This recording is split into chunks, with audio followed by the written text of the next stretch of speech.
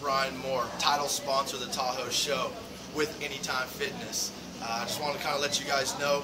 Make sure you get on to www.anytimefitness.com for your free uh, free week passes here at the club. You also have some tanning options and some punch card options. Also, www.tahoeshow.com. Make sure you get on there, sign up, register, get people, get your friends, bring them all up here, guys. Um, it's really going to be fun. It's going to be exciting. We're at Lake Tahoe.